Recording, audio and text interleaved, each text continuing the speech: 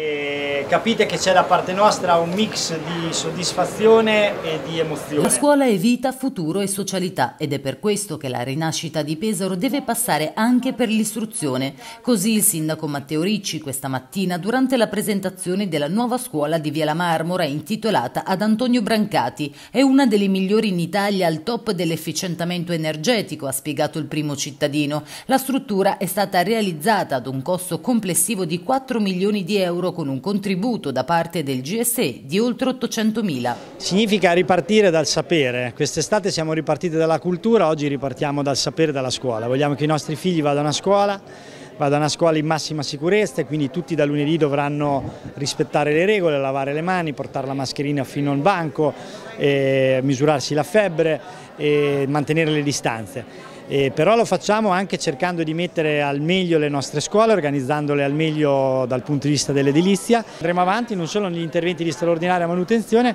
ma anche nel fare nuove scuole. Qui di fianco faremo una nuova palestra poi faremo la nuova scuola Dante Alighieri e stiamo cercando i finanziamenti per fare una terza scuola nuova, speriamo diciamo, prima che finisca il nostro mandato. Quindi... Il plesso si inquadra in una strategia di città sostenibile attraverso la quale l'amministrazione si è impegnata per ottenere un edificio a consumi quasi ridotti a zero, ha detto l'assessore all'operatività Enzo Belloni. C'è un bassissimo impatto ambientale grazie alla scelta di materiali naturali. Grande cura è stata rivolta all'uso della luce naturale e artificiale, ha proseguito Belloni funzioni, ma anche all'acustica con l'isolamento dai rumori esterni e al benessere termico sia in estate che in inverno, grazie ai frangisole automatizzati, al tetto verde e alle pareti ventilate. Un fiore all'occhiello della città, presente per l'occasione anche il vice ministro all'istruzione Anna Scani. Di strutture come questa ne servono almeno altre 40.000 in Italia, ha commentato l'onorevole. Con l'apertura delle scuole, ha poi aggiunto, si misura un intero paese e non il governo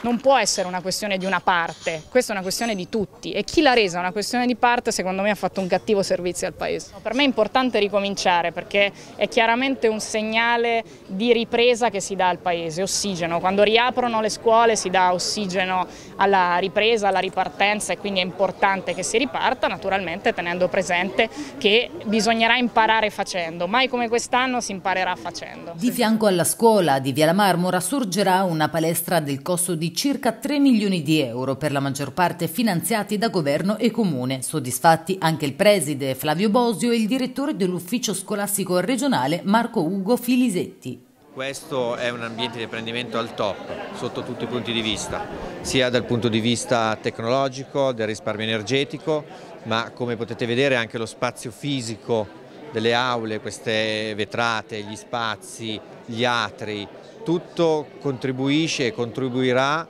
a far sì che i nostri così, alunni crescano in eh, maniera consapevole. L'obiettivo, il progetto di questa scuola è fare una didattica innovativa. Siamo contenti di ripartire lunedì, la scuola la fanno i nostri alunni, le fanno le persone e quindi la scuola in presenza è assolutamente necessaria.